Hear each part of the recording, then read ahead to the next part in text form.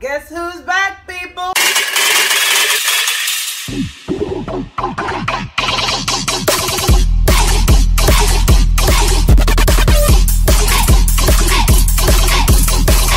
Money talk. I had to drag Tracy here because of the lots of comments and WhatsApp messages that I've been getting from new subscribers telling me that oh Tracy is the vibe like she makes the show awesome. She makes the channel awesome. So I had to send a WhatsApp message begging her to come back. But let's talk all right? So Tracy how have you been? Well, trying to make some money and keep it. and how far has that gone? The making it, yeah, the keeping it, the making it yes. Because I mean, like you have to make it first before you keep it. Of course, yes. Mm-hmm. We're making it. It's not keeping it. It's now not deciding that Instagram, what can we buy?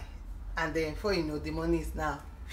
Oh, okay. So it's been pretty much hard for lots of Nigerians to make money, Oh, especially putting into consideration that you know we have we're experiencing inflation. Mhm. Food prices have increased. The last time I went to the market, I couldn't believe how much ten thousand could give to me. Prior to this time, I could my as in like the wheelbarrow will have a lot of food stuff with ten thousand naira. But now it's it, it barely fills the wheelbarrow. How would a poor man survive? What sort of business can a poor man do with little or no capital? Jenny, Because just there are no to funds anywhere. Just just listening to you say this lets me know that this is much more, you know, spiritual than us us just talking. Because Mhm. exactly that happened to me over the past Christmas holidays. I went to go and buy something in the market. It was ridiculous. I literally left there without anything because I said to myself, if I, who can afford it, Mm-hmm. Is grappling with the fact that things are this expensive how will the people? So you know what i did? I literally gave out what i bought and gave out the money and entered the car and drove home without anything. I, I don't understand. You gave out what you bought Yeah. with your money yeah. to who? To the people selling it. I gave it back to them. It was, it was horrible for me. You know this thing you're saying that will buy exactly the same. Goat. Normally you go buy a full goat somewhere you know Mm. 12 15000 Mm-hmm. and it's like really big goat you could eat. Ah, Jane, 25,000 naira goat, full goat. As in, I went to the market. The, I had, I just had one bag. I went to the market recently because you know nowadays you go to the market it, it's like luxury for me going to the market right now so when i go to the market things that i used to buy like goat meat one kilo i was surprised was two five back how many months ago it was like 1005 or yeah. 1002 Two. one five seven it's high 1002 What I say, out of beef, just beef, plain beef, plain beef. i don't eat beef Ooh. okay now i want to start business Mhm. what sort of business am i going to start without capital or with something as small as 50000 naira 50,000 is too much. So, for example, let's we're using you as an example, Yeah. right? Okay. Mhm. Uh, first of all, before we start to talk about you know what, what businesses can we start, you need to find out that making money is providing value. The moment you realize that you have to, pro- if you provide value for someone, then you make money, you get paid for it. Then you might as well just do anything and make money. So it means that if your neighbor, value for your neighbor is that every morning he can get water to shower, and you provide that service, he'll be willing to pay. Your landlord uh, making sure that your co-tenants pay on time is a service is willing to pay. So that he doesn't have to come and be the one chasing them around you'll be willing to pay. Just look around you. Find a problem that you are able to solve well. It's not haphazard solving. Find a problem that you're able to solve well. A problem that uh, someone is willing to pay for and that's money. And that cuts across a lot of things. Every time i come to talk to people about money i, I like to use this as an example. I had this friend. She told me she wanted to start selling shoes. So i was like how are you going to go and do it? Ah you need money you need store you need this. And she told me no watch me. So she goes to lagos into this really big store that you know stocks of shoes. And she takes pictures of all their shoes. And she puts on her Instagram page. Now people see this, they want, they place an order, they pay, they pay for delivery. She pays those people and they send the shoe directly to the address. She doesn't have to spend a dime apart from data and her phone. So after a while, now she has a lot of customers that want shoes from her. Remember, she doesn't have a store. Yeah. She doesn't. All that she has is that the pictures of the shoes. Do you understand? And because she has gone th- there and she's seen that, oh, this is the, the quality that they provide, these are their sizes, and then she has done business with them about 10, 15 times. She now has a person there that once they bring in new stock, they take pictures, they send to her. You know, that's exactly what I'm currently doing, right? I um before we started this, I told you that I just got into furniture making, and that's a male-dominated kind of um, you know, Profession. Profession, Mhm. but I am not a lazy person. I like to challenge myself, right? But when I got into it, I realized that man, it's really stressful. How about I sketch a design and give it to this guy, this carpenter, and tell him, make this kind of design for me. I'll take a picture and then, you know, create a business page on Instagram and just let me out let there. me just go one step further so this is another thing people don't get so the value chain business value chain there's a lot of gap the people who currently make chairs now Mm. are constantly like you know having to redo the same designs Oh. until maybe they see one new design from obodo oyibo from uh, from Mm. and then they recreate then they recreate it Yeah. you can't just make your business on sketching for furniture people and people can just say i like i want this design of chair and you say okay this is the kind of fabric that will go with the chair. Right. and the person says what will it cost to make these chairs because these guys you already have some sort of a deal with them to say i will bring people this will be the discount this is what i will take from it. Fine. So you can now cost. So you can be the one who sources for fabric because you know what kind of fabric will fit with the kind of style of a- a, a chair that you want to make. Mhm. and then you take it to these people. Right. you sort of supervise and make sure they deliver the service and the quality that you want. And you deliver to your client so you don't necessarily have to have wood or anything. Someone who's selling fabric for furniture or someone who's selling furniture um, equipment or the necessities like the wood and everything is your customer. The person who's making it is your customer. You were just in the middle of the value chain saying that let me sketch for you. Let me let me be the one that you know you you burden with the designs that you want to make. Uh, so it cuts across a lot of things. So it's not just even furniture. It can be interior. You can sketch how um the peeps like the cupboard or the wardrobe where it will stay so even when people want to build Yeah. you can have a portion of the building sketched out like a bedroom how Yeah. it should look like and everything and then you offer those services to someone who's already like a big time architect to say i have these bedroom portions i have this workroom different portions that i have sketched in my mind Mm-hmm. and it cuts across everything even for fashion designers you could just be the sketcher. So fashion woodwork whatever that's it. So you sketch for fashion designers. Do you understand? Mm-hmm. Upcoming fashion designers experienced fashion designers you sketch for their their collections. This is you. They like it. They pay uprightly. They you own they own that collection from you. You're never going to do that for someone else.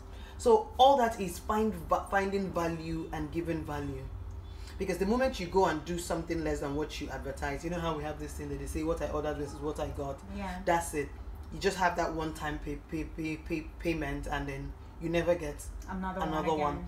But as long as you're consistently delivering value, you always have money. And once someone says, Ah, I like this your top, where did you get it? Oh, it's Jane, no, Jane drew it and this person made it too.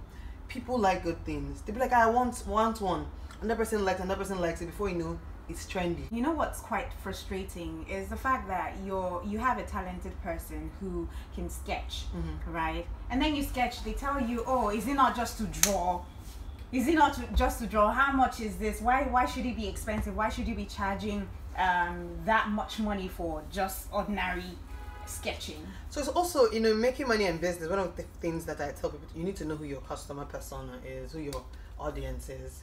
Mm-hmm. Your audience is to not be that person that is asking you, to not just to draw. If it's just to draw now, why is he not drawing it and doing it now? Like they don't need you, you know. Right. And so that's why it's important to already have like some um, lay down things you've already done, so that like you are your your work is clean cut for you so you say well i know it might seem like it's just to draw but this is what what it takes me to actually do this it takes me hours this is what it is and you keep it there once a person it has to be value of, of value to the person mm. because for example now if i really want to dazzle my client that i want to furnish their house and i say oh i, I i'm going to have this all out of you know the out, out of box design for your furniture for the place how you where you place your mirrors and stuff like that and I I come and I see your sketch and I like it because my client is paying me for that. I have money in my budget to pay you. So you're looking for someone not just a consumer but also someone who is a customer. So consumer is the end product, the client that is going to use the mirror. But the person who is constantly paying you money for your services is your customer. That's who you're going to. Person who can afford you without having to speak English, that's who you're going to.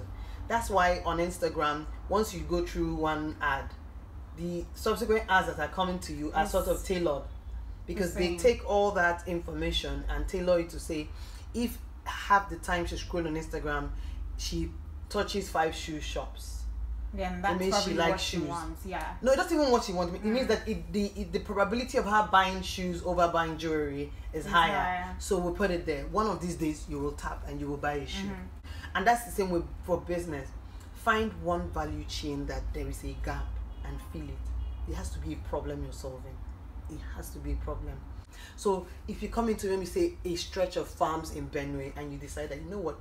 Let me take the stress off you guys. I own a tractor. You just pay me the subscription fee. Every three times in a year i come and i do the whole cutting and whatever of grass for you. I come and i do harvesting. I come and i do this. So all they know is that when they come, I've already tilled the ground for them. They plant, you know, and go. When it's time for this harvest, they harvest. After the harvest, I come back and till the ground and make sure that there's no mulch or there's no leftover weed and stuff like that. That is taking. There's someone, some other person who their job is off taking. Wait until they finished. They've harvested. You are taking from them to go to Shoprite, or you're taking from them to go to someone who's going to package and take to Shoprite Mm-hmm. in every industry, in every business, check the value chain. There's there are gaps. So I don't believe in all this. Oh, the business saturated. Even something as as common now as blogging, there's still a gap in that value chain that people can feel. There's there's too much problem. The number of people who are jobless in Nigeria is increasing, and you know, we have lots of graduates being churned into the society, no jobs, and a lot of us are waiting for um, nine to five jobs that are barely even paying. See the thing about boxing people or raising people in a box limits them. So we've been raised that you know, go to school, get employed, this. So a lot of people are still in that traditional sense of money making venture. I have to get to work, go get employed, work for how many years, then go. But if also when you go to this uh, um, mm, social media, Instagram uh, channels of business, you see there are lots of Nigerians that are running full time big businesses there. Doesn't mean that these other ones do not have the capacity? No, I just think that they haven't tried. I just think that they haven't launched into the deep. And you see, it's not as easy as it seems that I'm saying it Yeah. you have to try. But for example, like I just said about the shoe business, it's the same thing with every other business. You don't necessarily have to have anything. That's why they brought. It's called drop shipping. You don't necessarily even have to have the stock. All you need to do is create a channel for your cus- customers or your your audience to come to you and you sell. And you can sell what I'm se- currently selling. Mm. You can go to the market now and somebody that's selling vegetable, you make a deal with them that you have customers that always want vegetables every Monday. So every Monday, all you need to do is on WhatsApp, reach out to those 10 of your customers that how much vegetables do you want? They will tell you. You go to the market and the person, you already let the person know that, okay, I'm coming. Please keep 1,000, 5,000, 8,000, this. And you've established a business relationship where the person is not going to cheat you or do anything and everything is of quality. You come, you pick up, you drop off. The customer pays a, a premium, the person who you bought from pays a premium you make money. So you necessarily didn't need to do so much. Let me tell you the money this girl makes in this shoe business. So in a week she sells about 60 um, to about 200 shoes. Not owned or produced or designed by her. Nah, nothing. So she makes some on some shoes two thousand, on some shoes one thousand. Mm. If she sells two hundred shoes at one thousand naira gain in a week, it means that she's making two hundred thousand. Wait, I need to get this clear, right? Does she have the f- shoes on ground? No, So you make an order and she meets the wholesaler. She, she makes and the same order you make is what the order she makes to the wholesaler, mm. and just sends your address. Right. She doesn't have to literally do. All she needs to do is to connect you and the wholesaler. Wow. wow.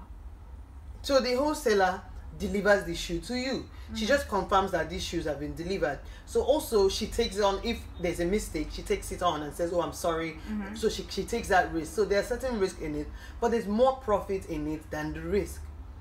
Because at first she started with delivering it herself, you know, she receiving the shoes and delivering, and she felt like it was too much work. Mm. Why not just pay for delivery? These people just deliver directly to you, and you get your shoes. And it's, it's been happening. And I was I spoke to her uh, maybe like nine days ago, and she says more often than not there are a lot more success stories than when there are mistakes or mishaps or stuff like that. Those things happen in business, but she's is bigger. Now she literally can place order for shoes when they are going to go and buy their own shoes. She can say, "I want more of this. I want more of this. I want more of this," because of the algorithm of more the, the amount of shoes that she sells in a week. So she sees that more people are, are buying red heels mm. or more flats. She says, "Okay, I want more flats." When you go to go and buy, I want more white flats in your bag. Right. So they get so they sent to her. Now this is she makes two hundred thousand in a week. So What? that's what I'm saying. One thousand naira on two hundred shoes is two hundred thousand in a week. One thousand naira times two hundred. Oh my days! I have been sleeping on real money. So two hundred thousand times four is eight hundred thousand naira a week. Let's say she spends two hundred thousand out of that money for Instagram ads and all these things Goodness every month. She Wow. still has six hundred thousand every month. The only money she's putting into it is making sure that she's, she's sponsoring her Yeah. channels, maybe calls to customers to say, "Have Right. you received it?" Right. That's why I say even if she takes out, even if she spends two hundred k, Mhm. she has no shop, so she's not running generator, nothing. It's a She's just the middleman. That's it. Yeah, she's just there. No, but they don't even know. I know now that the wholesaler. Everybody thinks that she's is her shop business. Right. Yeah, Right. Right. and she doesn't stockpile. Do you understand? She tells you that she doesn't stockpile. When you pay, she gives you a week for you for your, for your shoes to be delivered to you. Right. If your shoes stay more than a month, you forfeit the shoe. Rules.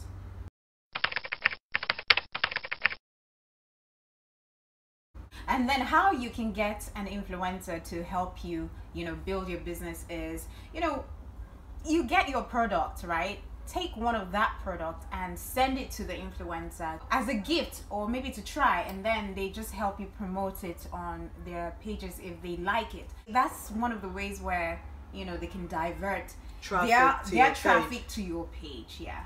And then also, it's, it's not just about making money. Like I said, you know, making money is one thing, Mm-hmm. keeping is another. Because you gotta make that 600,000 in a month, and every day you're in hustle and bustle.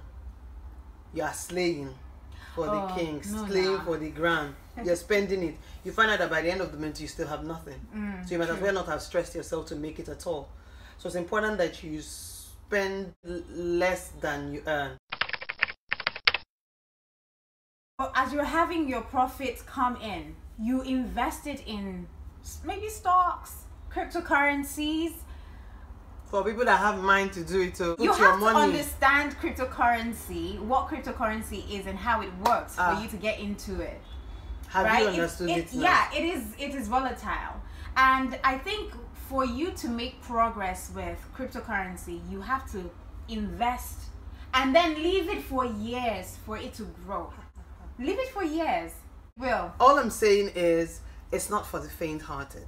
So that you don't go and say, "Oh, Jane asked me to go and invest. Keep it there." You open your app one day and you, You see know why that I'm saying this? your Because money, Bitcoin, okay. right? When I first learned about Bitcoin, Bitcoin was six hundred dollars when I first learned about it. But look at it now. Did you buy them? I bought them, but I was selling. You know, I, I, I would buy and then I would use the money. I'll buy, wait for a while. When it rises, I just sell it. Now, all those monies that I put into cryptocurrency, um, into Bitcoin, if I go back and I check my past transaction, they are in thousands of dollars. So if I had if I had left those money but way way back in 2000 was it 2016 or 2017 right? When it was like $600 if i had left it till now man you not gonna see that in yan dust now for the day uh, miami or the bahamas You will now release your page and say that come and talk to the crypto master. do you understand I get it. do you understand as in like the the thing about cryptocurrency Do you is know why- putting, why putting, yours is putting better? your money in there Do you know why yours is better? and leaving it for You years. spent yours. I can't remember my password or anything. Oh my god. That means you still have money in there. I still have bitcoins. I, I, sh- I should be a fucking big time millionaire. Oh my god. We But- have to find a way to get I've, your I've done so many times and I don't want to just go and lock myself out. Oh my god. You know, so that's the thing with blockchain. blockchain When did you buy It's like maybe 2012. You're a millionaire. You, I know what I'm saying. Yes, yes. oh my god. There's nothing that we haven't done. Like I have even paid people to do. Like how much how much worth of Bitcoin? I have about four bitcoins. Four? not yeah, four, one, two, three. four. Jesus! And let me let me tell you the funny thing. It was that doing all that Bitcoin thing, my younger brother, everybody was just saying, "Oh, let's buy, let's buy." You know, I did it out, of a place of let me just be part of people that are doing buying Bitcoin. No, you have to find a way to get that money out. You know that there are people who have much more than me that are still looking for a way to crack theirs. They're even asking people that, yeah, all, all over the country, all over the world. Do you know how much four bit Bitcoin is? I said, do you know? Let me tell you what has calmed, what calmed me Oh down. my like I, I think I was depressed oh the my first time when this, but I, I saw that there is a like a thread. It's a thread on people who forgot their password. Yeah. People who have like 20, Oh my 40, goodness. 50. People that are asking that let's share it into two if anybody can hack it. But then if you can hack it, then it, it will not it will no longer be blockchain. Mm. See, I didn't buy it as I was trying to be an investor. Yeah. I just wanted something trendy. Everybody was doing Bitcoin, Bitcoin, Right. Bitcoin. Because blockchain is like a code written and another code on top of it. Yes. Then this code now says that nothing under this can come. Do you understand? So because there, there are a lot of people who get a say, like it's, it's locked. So it's not that like one person can override or anybody can Mm-hmm. override. There's just a lot of checks that not that do not allow anybody to one and not any one person has the power to be able to yeah. Yeah. So there's just like quadruple encryption. I don't know how they do this in itc you know, but tech talk. But well, then again, it also taught me something that whenever you're making such purchases, you have to be very, very, very aware of what mm-hmm. you're putting your money into, and not just say, "Oh, because I have money now, I'm willing to do it." Be write down these things. You can have a wallet for your passwords. See, it's after this thing that I now know that I have a wallet for my passwords for everything that I'm doing. There's something called Upwork. You need to look at it. You just go there. There are lots of jobs posted, and it's virtual. You just go. You apply for one of the jobs because you get like uh, coins that you use in bidding for the job. The person, especially make check that the person is um that their money is certified, so they've been paying for their jobs through Upwork. You, you do, and it's per hour. Hmm? Yeah, it's called Upwork. Go and register. I know I've done like works, virtual assistant, program manager. You don't need to stand up. How much do you get paid? Sometimes up to twenty to thirty dollars an hour. Really? Yes, You don't need any credential for that? you need your credentials because if you put in, it's not like credentials, credentials, but you need to see show show show the work you've done. You need to show expertise in so so and so stuff. Right. And so t- people come there to put out for work. I need a virtual assistant for uh, two months. Um, you, you need to work at least eight hours a week, a, a day, yeah, forty hours a week. You know, this is what I want. This is what I'm willing to pay. Even if you get fifteen dollars an hour, Jane, eight hours is almost about one thirty dollars or so, yeah. So imagine that one thirty dollars times um, five days. So you're looking at close to maybe about seven hundred dollars in a week. Which is which is a good thing though. So seven times four is Mm. about two thousand eight hundred. It's about three thousand dollars in a month. Mm. But that's just one off one work that you're doing, off one project Mm-hmm. that you're working on, and you can do a lot more. I'm just telling people to go out there. One of the things that hinders us is that we are there waiting for someone to come and say, ah, okay, I have somebody that can do. There will be people like that. People will refer you. People will, you know, um, recommend you for jobs. But then go out there. See, I can't. I, I don't know. The only work I've not done is prostitution. Right. I'm telling you, Jay. I've done. ev- J- J- I've been interior designer. I've done work in people's houses. I've done painting for someone's house. Is it even helping out in someone's house to get paid?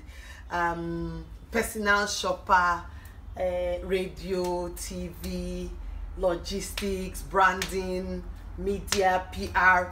Now entered into entrepreneur, uh, entrepreneur development and support, and in all these things, I quickly go and certify myself first. Go and learn it. So when you're talking now, You're talking from a point of yeah, authority. you're mentoring and you're coaching a startup, and you're saying, uh, we need to set milestones for you. You need to know what is your, your social media coverage for the week. I need you to go from 10 to 20 followers by Monday. I need to go from 20 to 100 in two weeks. And how do we do that? What are the steps you're going to take? You're going to follow through that person. By the time those that person achieves those goals, or all those people you're mentoring, so you can put mentor on your CV. People want to know that they're not putting their job in the hand of an amateur. So, what would you advise someone who is working in a job that they really don't like, but they're scared to leave and you know do something that they would you know see themselves enjoying? So first and foremost, you need to ask yourself, you know, now, if I leave this job, you know, would I be able to start doing that stuff and still take care of myself? So while you're still working here, while you're still earning pay here, start to work on that your passion and that stuff that you like until you get up to a point where you're very comfortable doing it. Um, there are resources that this your current job can afford for you to do this your passion. Utilize all of it. If it's free word free word make sure you utilize all of it to build. When you have built to a place um, where you feel like you're comfortable now yeah then you can go in and put in your resignation and then move to that job but then there's a second way of me how i do it i just quit cold turkey Ah, I know you. just quit cold turkey Tracy, once Tracy is done and dusted, she leaves. i just leave like to I don't stuff. know how she where she gets the courage from. I because can't do I that. I tell myself that. I can't do that. I didn't bring myself to this world. Mm. So the person who brought me to this world is of the person's best interest to see that I, I am doing well. Right. So I will put in my own part of the work, yeah, knowing fully well that God has done his own part of the work. So I'm out there. And that's the thing, you know, people have pride when you're looking for something. There's no pride in ugliness, like my parents would say. You're ugly, you're proud. Who are you doing? Yourself, you'll be hungry. There are days that I want to sleep, Jane. I know I cannot sleep because you know I tell myself that go and sleep. You you, you hunger will kill you tomorrow. So I have to stand up. You're the one that quit your nine to five job. Now it's it's harder.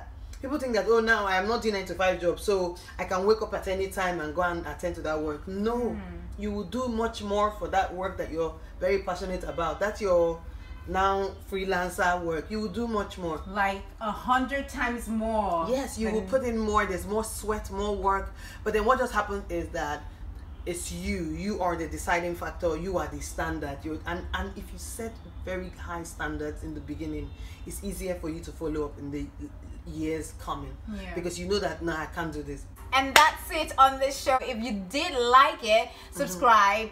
And turn on your notification, hit the notification bell so that you would be the first person to get notified whenever I post a video here. And then, if you really did like, and then if you really did like, if you really did like, you know, business talk, um, everything we just said, uh, and you're looking to to ask more, and you're looking to get more answers um, for your financial problems or your business ideas or strategy, all you need to do is just send a message, send your questions.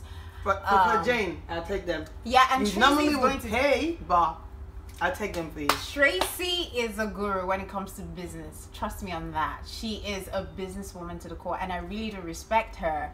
So send your questions pertaining to business finances, and let's see how we could talk more and you know enlighten each other. Okay. Till next time, don't forget to be fabulous. Mwah.